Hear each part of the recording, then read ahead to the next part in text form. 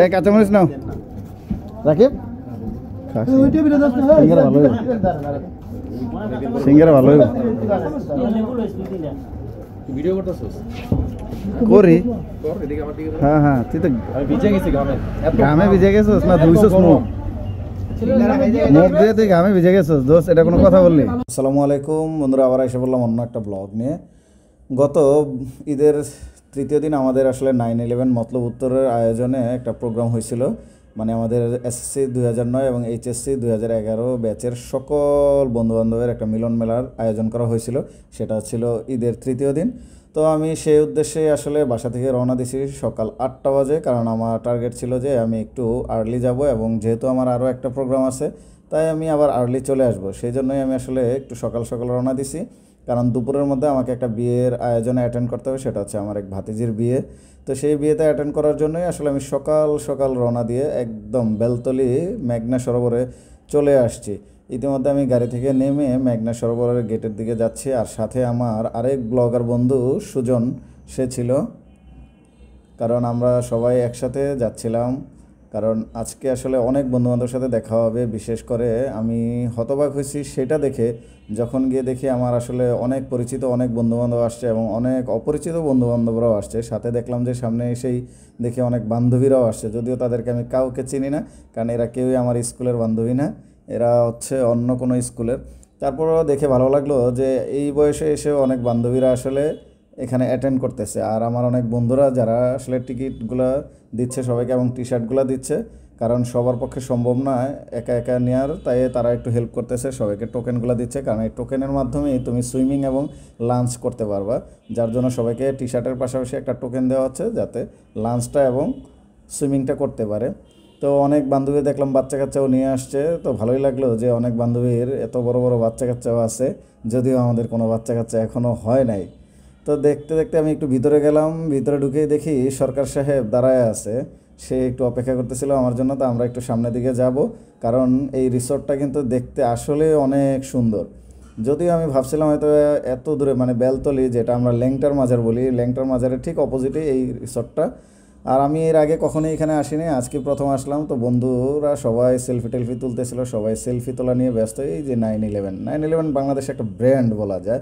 যেখানেই যাবার সেখানেই নাইন ইলেভেন ভিতরে যাইতে যাইতে দেখতেছি প্রচুর গাছ আছে এখানে এবং সাথে একটা লেক টাইপের আছে এবং লেকের উপরে একটা ব্রিজও আছে। তোমরা চাইলে সেখানে গিয়ে ছবি টবিও তুলতে পারবা। আর যেটা ভালো লাগছে, সব বন্ধুরা আসলে আজকে দেখা হইতেছে। অনেক দিন পরে, ফারহানকেও অনেক দিন পরে দেখলাম। তো বন্ধুদেরকে একটু কুশল বিনিময় শেষ করে, আমি সামনের দিকে আগাচ্ছি। আর সামনে দেখি যে প্রচুর আম গাছ আছে এখানে।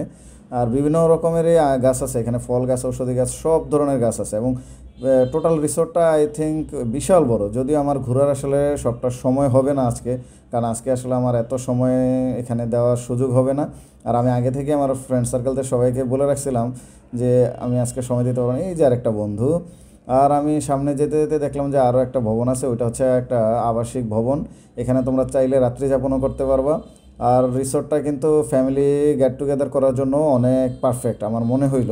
কারণ অনেক খোলামেলা জায়গা আছে, বাচ্চারা চাইলে এখানে অনেক খেলাধুলা করতে পারবা। তোমরা আউটডোরের অনেক খেলা এখানে আসলে উপভোগ করতে পারবা। কারণ সেই পরিমাণ পর্যাপ্ত জায়গা এখানে আছে। অনেক বন্ধুরা দেখতে পেতেছে একদম টি শার্ট পরে অস্থির অবস্থা। আর এখানে আইসা আমি যেটা দেখতেছি সেটা হচ্ছে আমার নারায়ণগঞ্জের সব বন্ধু বান্ধব এখানে চলে আসছে। আমি তো অবাক রাকিবকে দেখে যদিও সে আসার কথা ছিল না আলটিমেটলি সে আইসা পড়ছে। এই যে তারা। তোরা এখন পিডামু।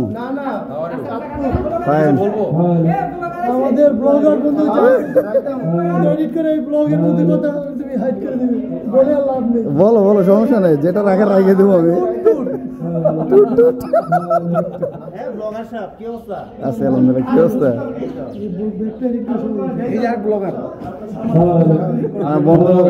বন্ধ করেন আমি জানি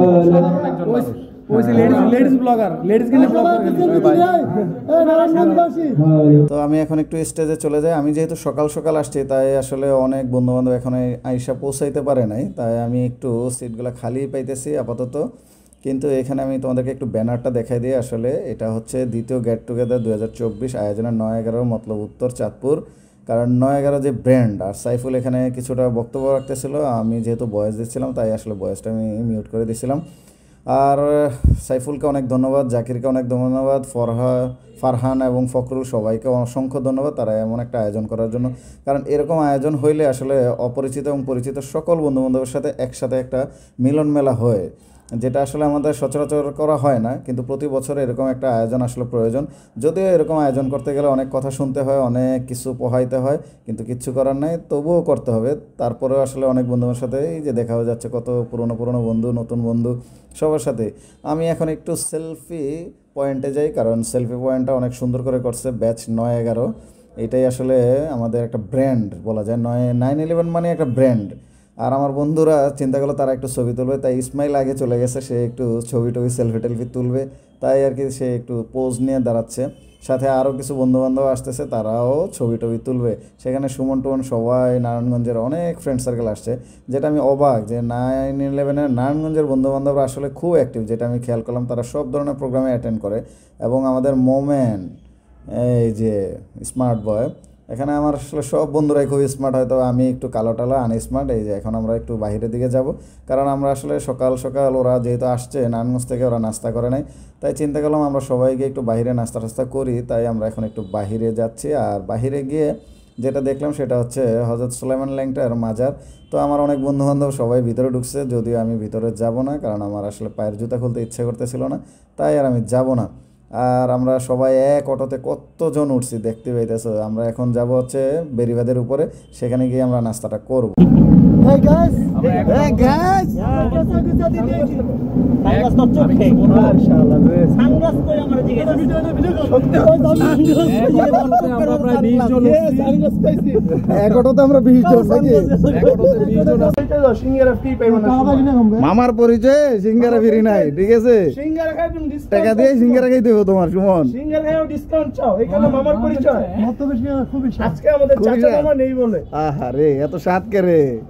হুম। ইয়াম্মি